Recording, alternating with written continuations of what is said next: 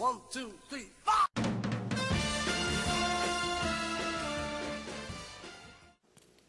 ¿Qué tal, gente? Soy Willy Wog y esta es una cápsula más para el Tico Fan Studio. Quien, teniendo más de 30 años, no tiene en su memoria algún capítulo de aquellos cuatro personajes animados que en sus fantásticas historias mostraban a los niños la ingeniosa forma de conocer y empezar a enamorarse de la música de los cuatro grandes?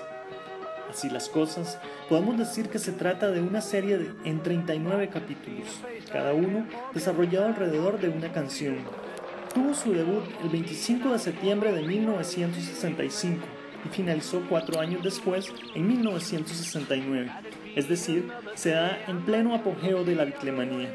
Curiosamente, los Beatles no eran partícipes de la producción más que con sus propias canciones, claro cada episodio se generaba en estudios ubicados en Sydney, Australia, algo lejos del natal Liverpool, ¿verdad? Ahí se puede ver a un John perezoso y muy relajado, descrito siempre como el líder que hará todo por ayudar a sus amigos que generalmente se meten en problemas. Paul, en cambio, se muestra como el segundo al mando, sarcástico y desenfadado, y se dice que junto con Ringo son de los más parecidos a sus homólogos de la vida real. George es el chico irónico, un flaco personaje amante de las culturas y hasta algo supersticioso. Y por último, la gran estrella, el Ringo, simpático, ingenuo, el Beatle tonto. Siempre se robará el show.